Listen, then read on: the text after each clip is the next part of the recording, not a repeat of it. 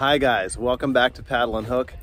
In today's episode, we finally made it to Kiptopeke State Park. Jackson and I are checking the place out for the first time, and so far it does not disappoint. The scenery is awesome, the fishing is legend, and I can't wait to get the yak in the water. Well, I came out at zero dark 30, secured some bait with a cast net, and you know, sunrise was about 15 minutes ago. I'm paddling out to the ships. We're right on a tide change. I'm hopeful that things are gonna go right.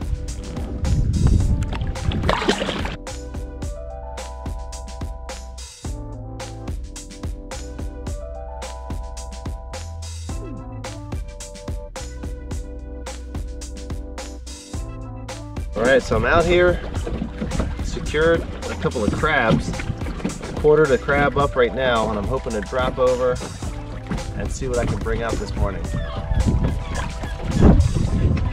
The marine life here is outstanding. There's a zillion pelicans. This morning there were fish breaking out by the, uh, the boat launch. There were some what looked like bluefish crashing a bunch of silver sides. It was pretty neat out here. Uh, the wind is definitely a factor. Um, I'm hoping the wind and tide work in my favor to keep me near these ships though so I can fish the structure.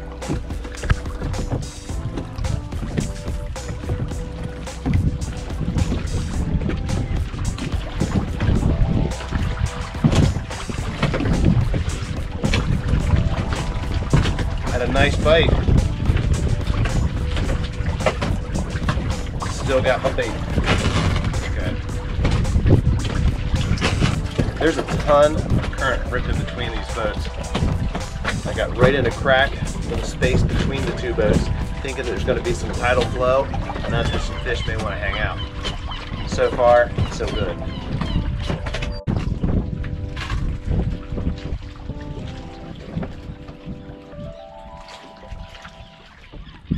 Haven't been able to land any fish using crabs, so I'm to go with the tried and true fish bites and at least score some small guys out here. Small fish are better than no fish any day. Oh, my first cast, I'm getting smacked out here already.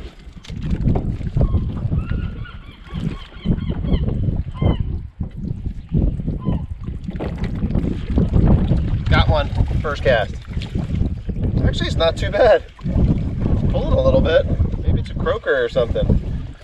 Yep.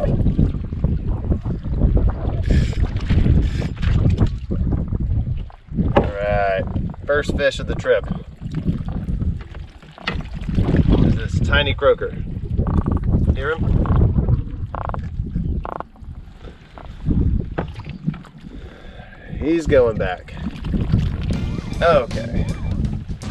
Slightly bigger croaker. Still not all that big. it's not the first time Fish Bites has bailed out a slow morning. These guys are small, but pound for pound, they're pretty good fighters.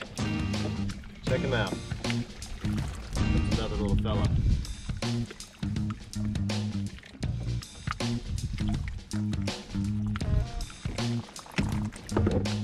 Oh my god. Like seriously. There's your Fish Bites infomercial right there. Double header croaker. Oh my god. Too funny. It's a shame either one of them are really big enough to keep. Size limit for croaker, Virginia.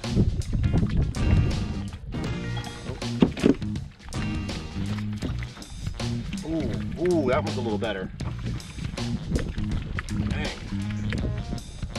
Little bit more like it, maybe. Oh, what is that? That is not a croaker. Ah, the dreaded oyster toadfish. Yeah, the bane of every angler's existence down here in the south.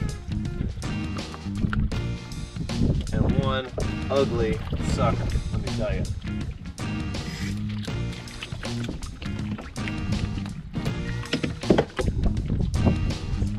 Flapping his tail so hard back and forth, he's actually smacking his sides. Watch.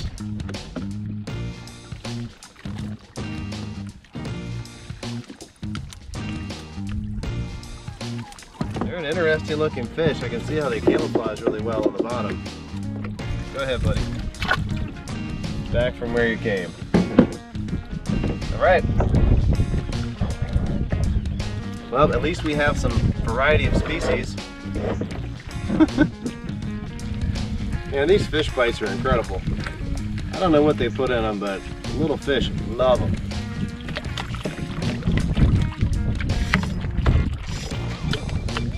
Yeah. They're like croaker candy.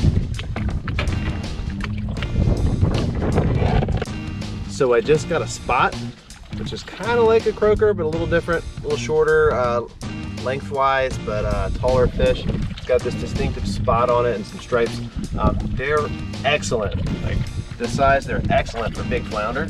They're great bait. So I'm actually gonna put him in the Flow Troll here.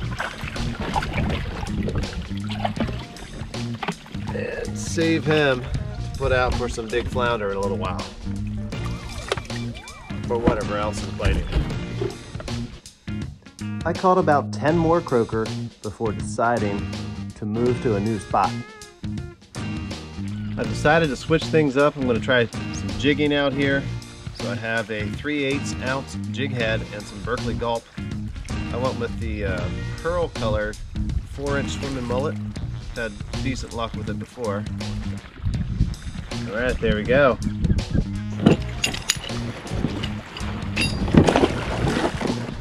Woo!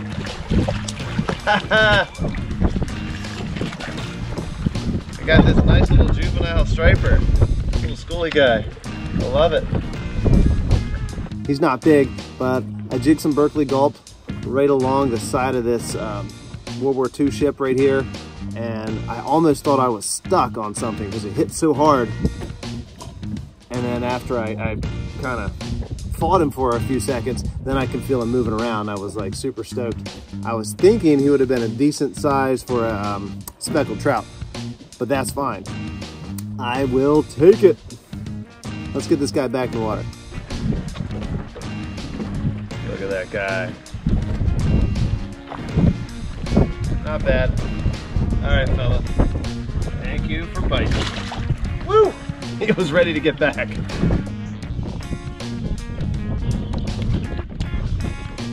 Croaker number 65. I don't know, but seriously, there are a ton of little croakers out here.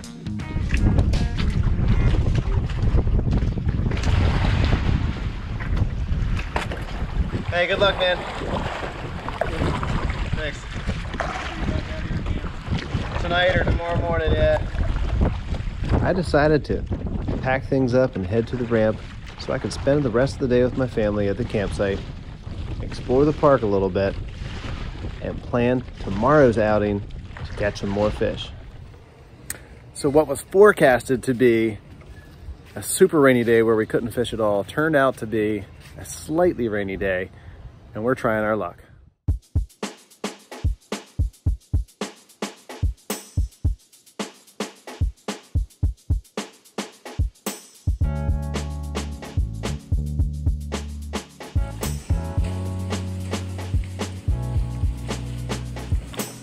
It's a little croaker though, probably.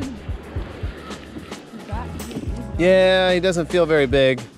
Hey, this is what I caught like 20 of yesterday. That's fun Yep. Spot. No. he's a croaker. All right, can't go wrong with a minnow on the bottom and a strip of fish bites on the top. You're gonna definitely get something. Yeah, girl. Was that some drag I just heard pulling? Oh, you got it. The dreaded oyster toadfish. All right, Oh my pull him God. back. They pull like crazy though. Oh, pelicans would love to have that. What if I throw him up there? Oh. Look inside that mouth though. Gotta be careful. Look inside that mouth. Those are some funny looking teeth. Got it, I think. Yeah. He's heavy for what he is. Straight down. he went for the minnow. All right. How, ne- how neat would it be to put a mask on and swim alongside this this ship? Wow. Just take a look around. Got him. Heavy or small? Oh, a puffer.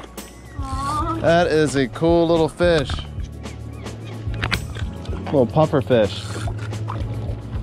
Oceanic puffer. Oh, oh, he's puffing up. He's freaked out. So that's actually kind of stressful for them when they puff up like that. See, he's on the top. Oh, he deflated. Good, good. Oh, he reinflated. So these guys are covered in little spines. Look at his teeth. Look at those teeth too. Look at those teeth, Aves. See how he's covered in little spines? You want to touch him? That is so that predators will not eat him as he won't fit inside. And he's spiny. So he has got the ultimate defense. Like parrot beaks. Funny, like a little beak-like tooth. Ironic, if I pull the hook out of him, will he deflate like a balloon? So a lot of people eat these. There's a little strip on their back, strip of meat that's supposed to be good. I don't want to kill a fish for a tiny strip of meat, so we're gonna. There he goes. Dude, I gotta take a pic. I gotta take a selfie with this fella. Oh, he deflated. I freaked out. He's like, I'm like, ah!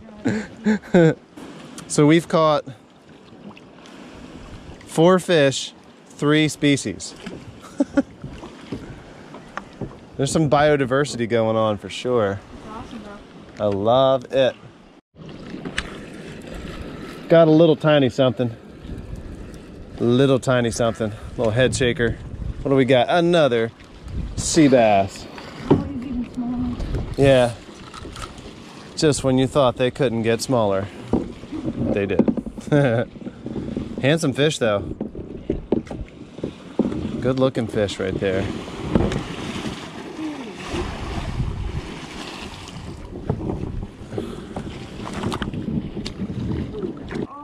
That is a world record. All right, guys, the all tackle record for smallest sea bass right here. Oh my goodness, like literally, he's slightly longer than my finger. This guy would be perfect for a saltwater aquarium.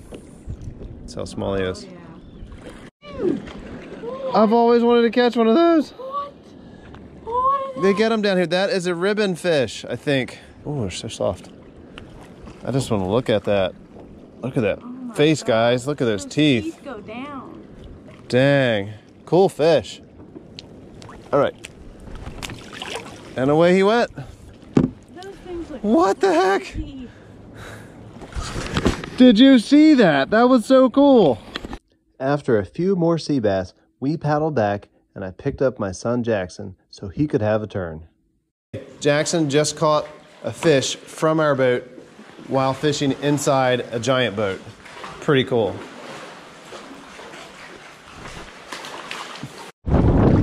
We've been getting hammered by wind we can't hold our position long enough to fish, so it looks calm over here by these boats. We're gonna try this spot out. This area definitely is full of tiny sea bass today. That's cool, I'm thankful for them. I don't mind them a bit.